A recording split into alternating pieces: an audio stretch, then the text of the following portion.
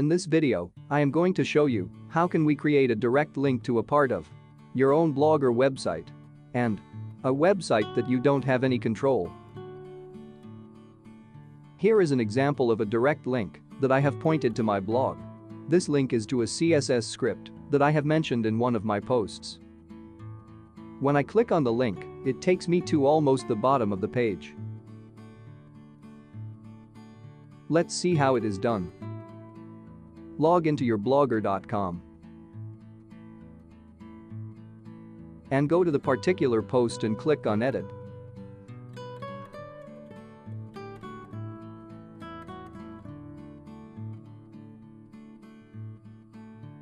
Now note down the part in the post where you want to point the link. In my case, I need to point the CSS script. It just after the word difference. Next click on the HTML tab. Look for the CSS script. If you have images and videos, you can see the long codes like this. Now I found the location of the script.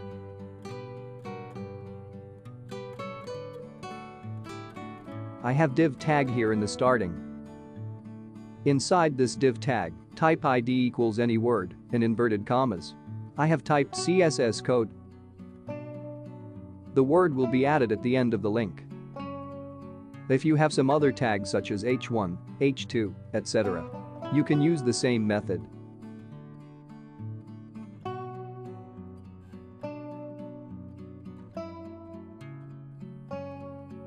Don't forget to update the post. Open Notepad and type the link to your particular post. At the end just add number followed by the word you typed in the blog HTML code. I have typed CSS code. So this is my final link to that part of my post.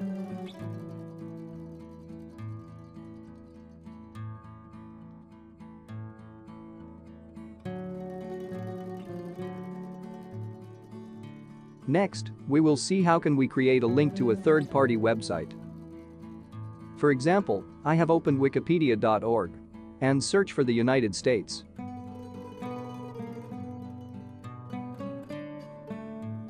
You will get a long list of data.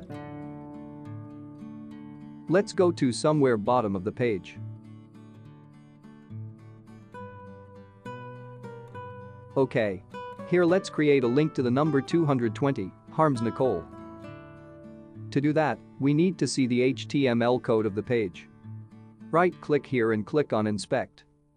Now we have the HTML code for the exact location where we have right-clicked. Next look for any ID or anchor in the code. Fortunately, we have an ID word mentioned in the code. Select and copy only the ID word.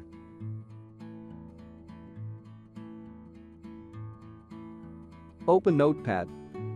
Add the number key and the copied word at the end of the web URL.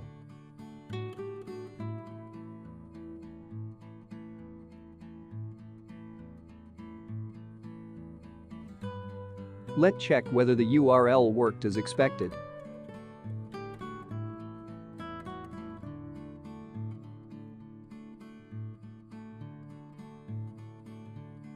Yes it's worked, it took us into exact location in the page with a selection in it. Please note, if the coder of the website did not mention any ID in the HTML code, then this method not possible.